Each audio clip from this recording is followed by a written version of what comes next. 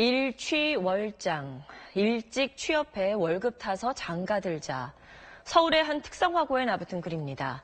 직업계 학교다 보니 이해할 부분도 있지만 취업률 지상주의가 얼마나 학교 분위기를 지배하고 있는지 단적으로 드러납니다. 특히 이런 식으로 학교가 취업률 수치에 집착하다 보니 학생이 실습을 하다 중도 포기하면 벌을 내리는 경우까지 있습니다. 이병희 기자가 취재했습니다.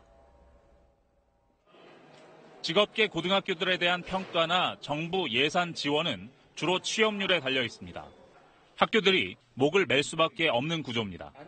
최근 한 10년 동안은 또 상당히 이제 취업에 예, 예, 압박을 가하고 있고 특히 이제 특성화고 에서 진학률이 높으면 불이익을 주는 제도를 지금 채택하고 있습니다.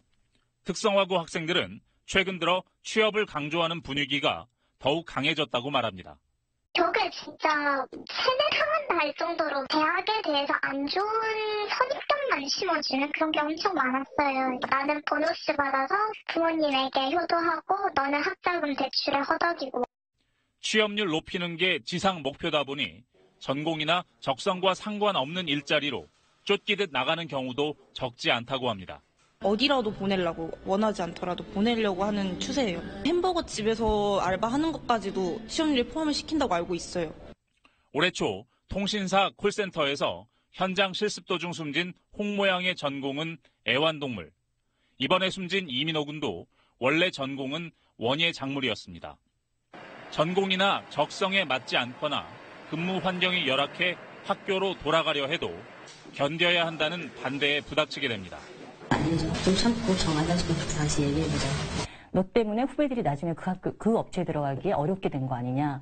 이런 식의 이제 그 비난에 시달리게 되다 보니까 그래 참자 참자 내가 학교를 위해서 혹은 후배들을 위해서 참아야지. 직업계 학교 가운데는 안전사고, 임금체불 같은 명백한 법 위반을 외면하거나 제 친구가 이제 임금체불 문제로 퇴사를 하고 도움을 받으러 갔는데 선생님이 먼저 하신 말씀이 아, 너 퇴사 처리했으면 시험률 집계에 안 들어가는데 혹시 아는 분이나 이런 데에서 취업 상태로 만들 수 있는지 실습 도중 돌아왔다고 벌을 주는 곳도 있습니다. 빽빽이를 쓴다던가 정규 수업을 못 듣고 교장 조감 선생님과 등산을 하- 하던가 이런 일들을 해요. 조기 취업 실적에 목을 매는 학교 현장에서 고교 실습생들의 안전과 노동 인권은 뒷전으로 밀리고 있습니다. SBS 이병입니다. 학교가 학생들을 보호해야 하는데 오히려 내몰고 있는 것 같습니다. 네. 이병희 기자, 학교에서 언제부터 이렇게 취업률에 집착하게 된 겁니까? 네, 직업계 고등학교에서 취업률, 취업률 이렇게 목을 매게 된 거는 2008년 이명박 정부 들어섭니다. 그 사실 2000년대 중반까지만 해도 그 직업계고 취업률은 10%에서 20% 수준이었거든요. 네. 오히려 대학 진학률이 너무 높아서 그게 문제였습니다.